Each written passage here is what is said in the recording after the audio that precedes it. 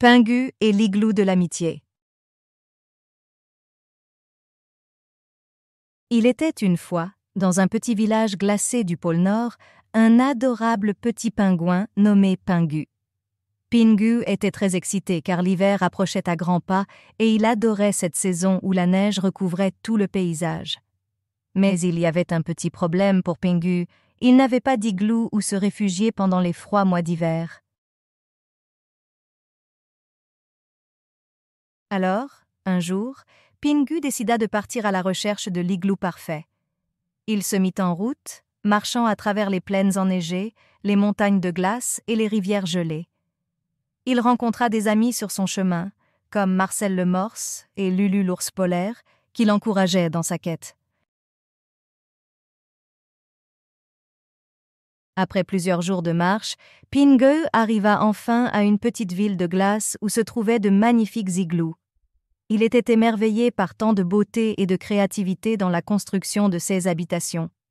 Il décida alors de demander de l'aide aux habitants pour en construire un à son image. Les habitants de la ville furent très heureux d'aider Pingu dans sa recherche. Ils lui proposèrent de nombreux matériaux pour son igloo des blocs de glace brillants, des décorations en forme de flocons de neige et même un petit foyer pour se réchauffer. Pingu était aux anges. Après plusieurs jours de travail acharné, l'igloo de Pingu était enfin terminé. C'était le plus beau de tous, avec ses couleurs vives et son design unique. Pingu était tellement reconnaissant envers tous ceux qui l'avaient aidé dans sa quête. Pendant tout l'hiver, Pingu profita pleinement de son nouvel igloo. Il invita ses amis à venir jouer avec lui, à danser et à chanter autour du feu. C'était un véritable paradis d'hiver.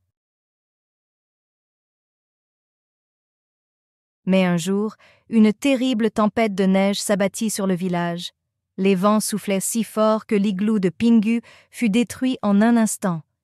Pingu était désemparé, il avait perdu sa maison, mais ses amis étaient là pour le réconforter et l'aider à reconstruire un nouvel igloo encore plus solide et magnifique. Et ainsi, Pingu comprit que ce n'était pas l'igloo en lui-même qui était important, mais les amis qui étaient là pour l'aider. Il réalisa que peu importe où il se trouvait, tant qu'il était entouré de ceux qu'il aimait, il était chez lui. Et c'est ainsi que Pingu vécut heureux et en paix, dans son igloo entouré de ses amis pour le reste de ses jours.